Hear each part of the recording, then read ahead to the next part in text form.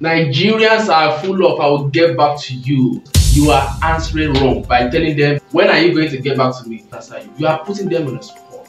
So this is what you are going to do. Number one, don't ask them when are you going to get back to me. What you want to do is to affirm that you understand that they are going to get back to you. When they say I will get back to you, just say okay, that's fine.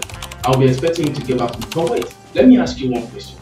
Why do you want to get back to me? Thought you needed it now. You see, you are telling them, okay, I understand. Oh no, I don't need it now. I need it for September, so so so. Instead of you asking them, when are you going to get back to me? Because the person is not even sure. Oh, sir, can I get back to you by August? Can I get back to you by so time to remind you? I've gotten to know when the person needs the item. Okay, is there anything you want me to send to you?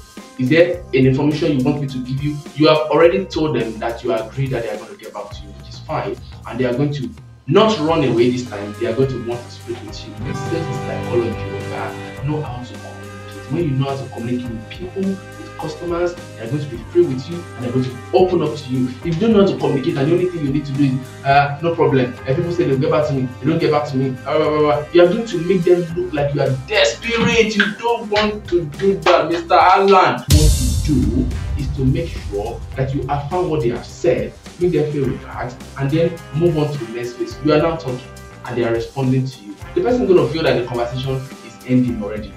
Now, now through the next question. The next question is, why do you want to get back to me? Is it because of the price? Is it because uh, it's too expensive for you? Or it's not exactly what you want? It's possibly going to answer ah, yes, oh, ah, okay, the price is too high. Then you know what to tackle. It's a question of price now. It's not a question of them getting, back to you. They are not going to get back. That's the truth. They are never going to get back to you. Then you tackle the problem. How do you tackle the problem of price? I'm going to say that in the next video. Make sure you subscribe to this channel. And something you forget sometimes is turning on the post notification. You know that if you turn on the post notification, you don't know this. If you turn on the post notification bell, whenever I post the next video on pricing, you are going to get notified. And then you can watch that video.